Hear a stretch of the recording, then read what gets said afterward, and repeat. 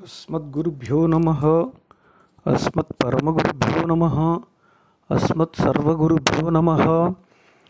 श्रीमते रामानुजाय नमः। श्रीमते शठगोपाय नमः। परिवारसमेत श्रीरामचन्द्राय नमः। भक्तामृतं विश्वजनानुमोदनं सर्वार्थदं श्रीशठगोपवाङ्मयम्। సహస్రశాఖోపనిషత్సమాగమం నమామ్యహం ద్రావిడవేదసాగరం. శ్రీరామచంద్రస్వామి సన్నిధిలో అయోధ్యలో వేంచేసి ఉన్న భక్తులకు భాగవతులకు ప్రణమిల్లి. తిరువాయుమడి రెండవ దశకంలో మూడవ పాసురం నుంచి తెలుసుకుందాం. శరీరం అస్థిరముని స్వామిని ఆశ్రయించమని చెప్తూ ఉన్నారు.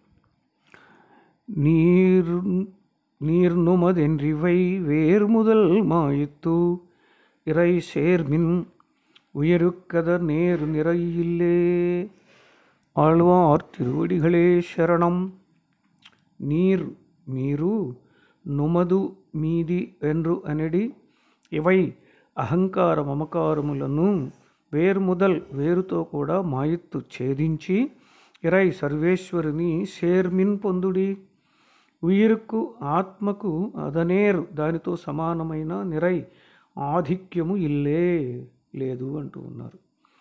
ఆత్మనాశకరములైనటువంటి వాటి అహంకార మమకారములు వాటిని సమూలముగా విడిచి సర్వేశ్వరుని ఆశ్రయించండి. ఆత్మకు ఆ సర్వేశ్వరుని ఆశ్రయించట కంటే అధికమిక ఏమీ లేదు ఈ ప్రపంచంలో. ఆరాయిరప్పడి ஆத்மநாசகரமான அகங்கார மமகாரங்களை சவாசனமாக விட்டு సర్వేశ్వరనై ఆశ్రయుంగోళ్ అహంకార మమకారములు ఆత్మను నశింపచేసేవి సుమా ఇవి సవాసనముగా విడిచిపెట్టాలి ఏ కొంచెమన్నా ఉన్నట్లయితే క్యాన్సర్ లాంటిదట ఇది ఆ క్యాన్సర్ కణం ఏ ఒక్కటన్నా ఉందనుకోండి ఓపెన్ చేసిన తర్వాత ఇక వెళ్తే మళ్ళీ అది తయారైపోతుంటుంది అలా ఏ కొంచెము నాది నేను అనేది ఏ కొంచెం వచ్చినా సరే మరల నాశనమే అవుతాడు. కనుక దాన్ని పూర్తిగా విడిచిపెట్టి పరమాత్మను ఆశ్రయించండి. ఈ ఆత్మావుకు తోడొత్త సీరియదు ఒన్றுం ఇల్లై ఆ పరమాత్మను ఆశ్రయించటం కంటే అసలు గొప్పతనం ఏమున్నదయ్యా? ఆ భగవంతుని దాసులము అని చెప్పుకోవటం కంటే ఏమిటి గొప్పతనం ఇంకా ప్రపంచంలో అసలు? ఏమీ లేదు కదా అంటూ ఉన్నారు ఆ రాయిరప్పడిలో సరే ఈ అహంకార మమకారాలు దీని వివరణలు ఇంకా చాలా అవే ఇస్తూ ఉంటారు. సరే మొన్న చెప్పుకున్నట్లే ఆ పంక్తి మీద పాఠాలంటే ఎలాగూ చదువుకుంటారు. అక్కడ ఈ పరమాత్మ దాసులము అన్నది ఎంత గొప్పతనము అని అంటే ఆంజనేయ స్వామి చెప్పాడు సుందరకాండ రావణాసురుడి దగ్గరకు వెళ్ళి ఆ రాక్షసులందరినీ నాశనం చేసి ఇంద్రజిత్తు చేత ఏదో బ్రహ్మాస్త్రానికి కట్టుబడినట్లు నటించి వెళ్ళాడు. అక్కడికి వెళ్ళి చెప్పాడు నువ్వు అసలు ఎవరివి? ఎందుకు వచ్చావు? అని అంటే చెప్పాడు. రామ దాసస్య దూతస్య వానరస్య విశేషత అన్నాడు. రావణ నేను రామునికి దాసుడను అన్నాడు. సామాన్యంగా మరి అంత పనిచేసి అంత బలం గలవాడు నూరు యోజనముల సముద్రమును అవలీలగా దాటి వచ్చి అంతమంది రాక్షసులను చంపిన వాడికి ఏ కొంచెమైనా నేను అనేటటువంటిది కానీ నాది నే చేశాననేటటువంటి అహంకారం ఏ కొంచెమైనా ఉంటే అలా అనగలడా? ఆయన సముద్రం దాటేటప్పుడే ఒక మాట చెప్పాడు. రామ ధనుర్విముక్త శరములాగా నేను వెళ్ళిపోతూ ఉన్నాను అన్నాడు. సముద్రాన్ని దాటడానికి ఇప్పుడు ఎవరికి దీంట్లో ఉన్నటువంటి ప్రతిభ ఎంత బలంగా అయితే లాగి విడుస్తాడో ధానుష్కుడు అంటే రామచంద్రస్వామి విడవటంలో ఉంటుంది అంతే. నాదేముంది? ఎంత వేగం వెళ్ళాలని ఆయన విడిస్తే అంత వేగం వెళ్ళిపోతుంది అది అలా నూరు యోజనములు దాటాలి అనేటటువంటి సంకల్పంతో రాముడు బాణం వేస్తే నేను అక్కడికి వెళ్ళిపోతా. రాంబాణం లాంటి వాడినే తప్ప నాకేమీ స్వయంగా లేదు అంటాడు ఆయన ఇదిగో ఇలాంటి సందర్భాలని ఇంకా మనం గుర్తు తెచ్చుకోవాలి. ఏ కొంచెమైనా మనకి ఉన్నదంటే మన పని అయిపోయినట్లే. ఎక్కడ కూడా ఉండకూడదు. మమకారం అహంకారం పనికిరాదు. కనుక రాముని యొక్క దూతను రాముని దాసుడను అని చెప్పుకుంటే అది చాలా గొప్పతనం సుమా. ఇది మనకి ఇంకా ఆళ్వార్లు చరిత్రలో ఒక చోట కనిపిస్తూ ఉంటుంది. ఒక ఆయన రాజుగారి దగ్గరికి వెళ్ళాడు. అక్కడ ఏదో ఫంక్షను ఉత్సవం ఏదో జరుగుతుంటే వాళ్ళందరికీ కూడా ఆయన సంభారాలు ఏయో ఆ బహుమానాలు ఇస్తూ ఉన్నాడు. ఈయన దగ్గర వచ్చేటప్పటికి మీరు విష్ణు భక్తులు మీకెందుకండి? మీకు ఇవ్వండి అన్నాడట. మీకు అవసరం లేదు మీకు పరమాత్మే ఉన్నాడు కదా అన్నాడట. అంటే పై పంచి ఎగరేసి ఆయన చిందులేశాడు. ఆహాహా ఎంత గొప్ప స్థితి వచ్చింది నాకు విష్ణు భక్తుడను అనే పృథగ్గణనము వేళల్లో నుంచి వేరుగా చేసి ఇంత గొప్పతనం విష్ణు భక్తులకి ఎవరు ఇవ్వవసరం లేదు నిజంగా పరమాత్మే అని చెప్పి ఆయన చిందులేశాడు. మరి మరొకళ్ళు అయితే మొహం ముడుచుకుని కాసేపు నేను కాదులే అనేవాళ్ళు. అలా ఇలాంటివి మనం గుర్తు తెచ్చుకుంటే చాలు. ఆ పరమాత్మ భక్తులము అని అంటే దానికన్నా పెద్ద విశేషము మరొకటి లేనే లేదు అని చెబుతూ ఉన్నారు. ఇక మరలా మరొక పాసురము నాలుగవది ఇల్లదు ముళ్ళదుం అల్లదవనురు ఎల్లై ఇలం నలం పుల్హు పత్తుతే ఇల్లదుం అనిత్యము అయినటువంటి అచేతనము వలెను ఉళ్ళదు నిత్యమైనటువంటి ఆత్మ వలెను అల్లదు కానట్టి ఎల్లయిల్ అంతము లేని నలం అట్టి ఆనందము కలిగినటువంటి వాడైన అవన్ ఆ సర్వేశ్వరుని యొక్క ఉరు స్వరూపమును పత్తు ఇతర సంగములను అత్తు విడిచి పుల్ఘు ఆశ్రయించుమా అంటూ ఉన్నారు. అంటే చేతనాచేతనముల కంటే విలక్షణుడై మితిలేని ఆనందము కలవాడైనటువంటి ఆ సర్వేశ్వరుని ఇతర సంఘములను విడిచి ఆశ్రయించుమా అనుచున్నారు. మళ్ళీ చెబుతూ ఉన్నారు ఇది ఇతర సంఘాలను విడిచిపెట్టాల్సిందే. ఇతర సంఘములను విడవకుండా ఉంటే ఆయనకేమీ పట్టదిక. వాడే తన పని తను చూసుకుంటాడులే అనుకుంటాడు ఆయన కనుక ఎటువంటి ఆనందమైందని అంటే అనిత్యమైన అచేతనం వంటి ఆనందం కాదు. అచేతనానికి కూడా మరి దాన్ని అనుభవించటానికి ఈ జీవుడికి దానికి ఆనందం ఉండదు దాని ద్వారా వీడు ఆనందం పొందుతున్నా అని అనుకుంటాడు. మంచి శబ్దాలు వింటున్నా మంచి రూపాన్ని చూస్తున్నా మంచి సుఖాలు పట్టు పరుపులు రుచికరమైన తిళ్ళు ధనము ధాన్యము. అబ్బబ్బో ఇక చెప్పేది ఏముంది అనుకుంటూ ఉంటారు. ఆ భోజుడు మేడ మీద పడుకుని అనుకుంటూ ఉన్నాడట ఒక వెన్నెలలో. చేతోహర యువతయ సుహృదో అనుకూలాహ అంటూ. ఆహా నా అదృష్టమే కదా అదృష్టము. ఎంతో అందమైనటువంటి స్త్రీలు భోగం అనుభవించటానికి అలాగే ఎంతోమంది స్నేహితులు రాజ్యము గుర్రములు ఏనుగులు ఇంత సంపద నాకున్నది కదా అని చెప్పి మూడు పాదాలు చెప్పాడట ఆయన. ఒక దొంగ వెళ్ళాడు పాపం. ఈ దొంగ కూడా కవేనట ఆగలేక వీడన్నాడు. సమీలనే సమ్మీలనే నయనయోర్ నహి కించిదస్థి అన్నాడట.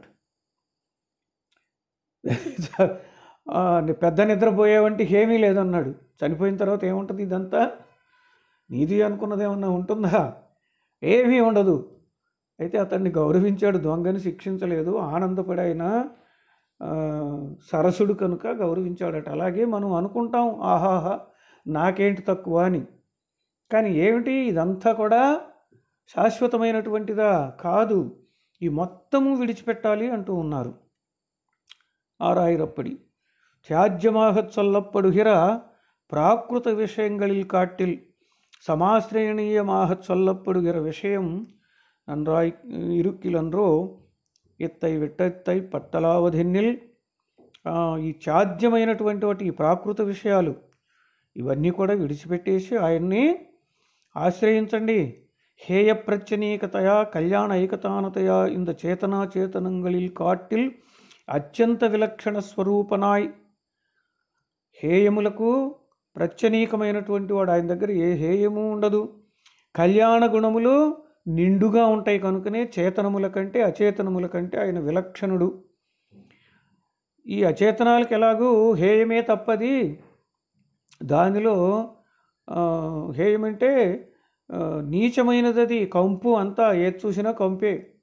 మన శరీరమే కంపు అంతా కంపే.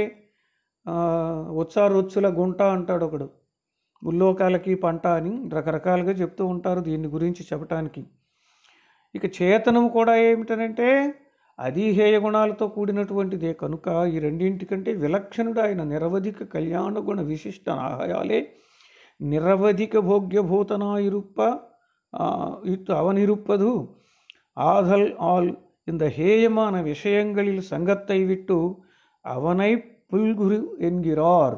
ఈ హే విషయం ఈ శరీరము? ఎటువంటిదండి? దీన్ని చాలా పెద్ద గొప్పగా అనుకుంటూ ఉంటారు ఎవరికి వారే. ఏదో అత్తరులు పూసి ఆ తర్వాత నా రోజు పెరుగుతున్నాను నాకు చాలా అందం పెరుగుతూ ఉన్నది. ఇలా ఇలా అనుకుంటూ ఉంటారు. ఇది మ్యాచ్ అయిందా? ఇది సూట్ అయిందా? ఇది వస్త్రాలు? దానికి తగినటువంటివన్నీ ఉండాలన్నమాట. స్త్రీలకైతే చీరలు జాకెట్లు గాజులు బొట్లు అన్నీ సమానంగా అయిపోవాలి. పురుషులు అట్లాగే ఉన్నారు మ్యాచింగులు. ఏదో పెద్ద అందాలు చూసుకోవటాలు ఎంతసేపు ఉంటాయి ఇవన్నీ? ఏవి దేని శాశ్వతం కాదా అని అంటే మాలదాసుడు చెప్పాడు బ్రహ్మరాక్షసుడి దగ్గర. బ్రహ్మరాక్షసుడు మరి విడిచిపెట్టిన తర్వాత అక్కడ పాడి వస్తే ఆ చివరి గీత ఫలం ఇవయ్యా అంటాడు. చివరి గీత ఫలమా? ఇస్తే మళ్ళీ నువ్వు వెళ్ళి పాడుకోవచ్చుగా అన్నాడు. అరే రే రే రే నేను నన్ను ఎంత తెలివి తక్కువడిని చేస్తున్నావయ్యా? ఓ రాక్షసుడా ఎటువంటిది? శరీరం ఏమిటనుకుంటున్నావు నువ్వు? దీనికి నిలకడుందా? ఊత నీరు చలదినేత మూటాయిటి దూది ఎండ పసుపు తొర్రి అక్కరం మేను ఊత నీరు. ఇప్పుడు ఊత ఉంటుంది ఇదివరకు చేపలను పట్టుకునేవాళ్ళు. దానికి చిల్లులు ఉంటాయి. ఆ పైన ఇట్లా వేస్తుండే వాళ్ళు కింద పైనుంచి ఒక చే చేత్తో పట్టుకుని తీసుకుంటానికి వాళ్ళు. అలా పైకి లేపితే నీరు ఉంటాయి ఆ దాంట్లో వెంటనే కారిపోతాయి. అంతసేపు కూడా ఉండదయ్యా ఇది. ఇక చలది ఆ- చల ఇది ఉందే ఏది? సాలిపురుగు. అది కట్టేస్తుంది ఊరికే గూడు అటు ఇటును. అవి ఎంతసేపు ఉంటాయ్యా అంతసేపు కూడా ఇది ఉండదు. ఎండ పసుపు. ఎండలో పసుపు పెడితే నల్లగా అయిపోతుందట. తొర్రి ఎక్కరంబు ఈ చెట్లని కోసేటప్పుడు రంపాలతో కోస్తూ ఉంటారు. తోత మిషన్లో వాటిలో ఇంకెక్కడ కోసినా అక్షరాలలాగా ఏర్పడి ఉంటాయి కొన్ని. రకరకాలుగా. ఈ ఇవి శాశ్వతమైనటువంటివి అసలు కాసేపు ఉంటాయి అయ్యి? అదిగో అటువంటిది సుమా ఈ మేను మెరుపు కన్నా ఇంకా ఎప్పుడు పోతుందో తెలియదు సుమా. అటువంటి ఈ శరీరమును శాశ్వతము అనుకొని నీకు దారిపోయమంటావా అంటాడు. అంటే ఆ చెప్పినటువంటి దాన్ని బట్టి మనం దాన్ని చూసుకుంటాం అంతవరకు. శరీరం అటువంటిది సుమా.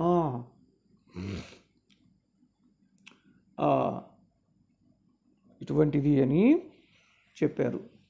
ఇక తర్వాత అపాసురం పాసురం అత్తదు పత్తనిల్ ఉత్తదు వీడు ఇర్ శత్తదు మన్నురిల్ అత్తిరై పత్తే. పత్తు అంటే జీవుడికి ప్రకృతి సంబంధము అత్తదు ఎనిల్ పోయినదన్నచో. ఉయిర్ ఆత్మ వీడు ఆత్మప్రాప్తి రూపమైన మోక్షమును ఉత్తదు పొందుతుంది. అదు ఆ ఆత్మప్రాప్తి రూపమైన మోక్షమును శత్తు విడిచి మున్నిరుల్ నిరతిశయ పురుషార్థమును పొందతలిచిన ఎడల అత్తు ఇతరములను విడిచి ఇరై సర్వేశ్వరుని పత్తు ఆశ్రయించు. పట్టు అంటే పట్టుకో అన్నట్లుగా.